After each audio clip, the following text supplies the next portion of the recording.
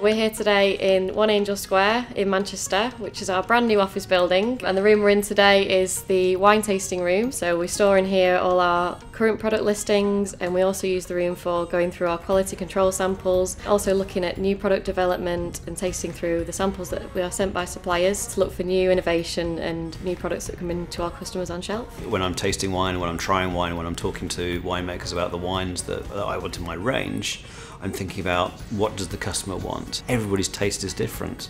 That's why we have a range of over 350 wines within our larger stores to allow that big selection for people to find the, the right wine for them, the right occasion, and the right, the right food match.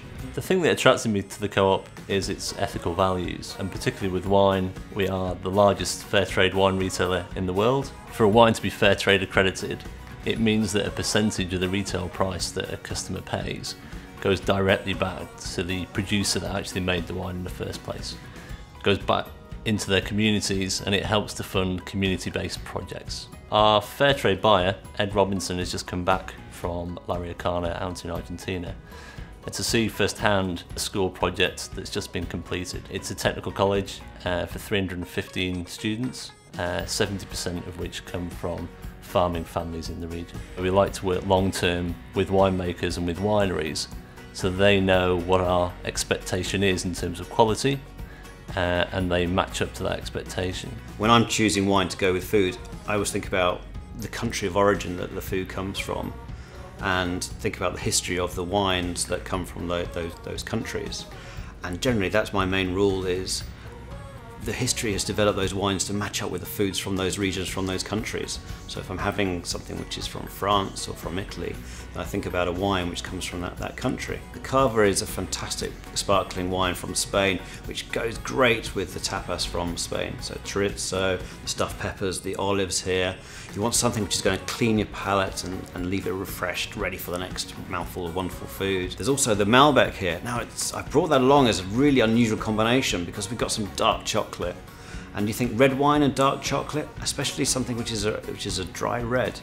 Malbec's normally known to go great with steak and beef, but when you've got something that rich and soft in tannin, try it with dark chocolate. It leaves some wonderful flavors in the mouth. For me, being a, a, a lover of wine, swirling and, and smelling wine is, is probably more important than actual tasting the wine because your nasal senses are more sensitive than, than your mouth to any you know, issues or, or, the quality of the wine. I think the easiest tip that I would pass on to anyone who's interested in making a bit more out of their bottle of wine is to get the temperature right. To serve white wine, ideally it's around about 11, 11 degrees, but I would say go with caution. Uh, serve it too cold rather than too warm because you can always allow it to warm up a bit, a bit later. Same, same with reds. I'd serve reds around about 16 degrees, but again, no harm in serving them a bit, a bit cooler if, uh, if you're unsure. There's lots of things to look out for. I suppose the most important thing is try and buy wine from a good vintage uh, and wine from a, a good producer.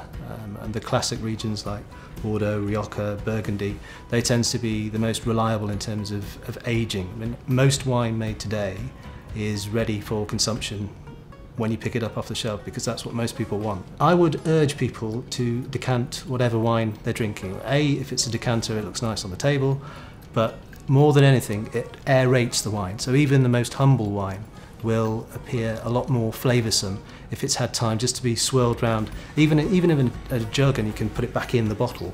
But as long as the air's had time to, to properly get in with the wine and interact with it and it releases those flavours. We find it really important to have a huge range and a really big choice available to our customers. So I'd encourage everyone to go out there, explore and have fun with it.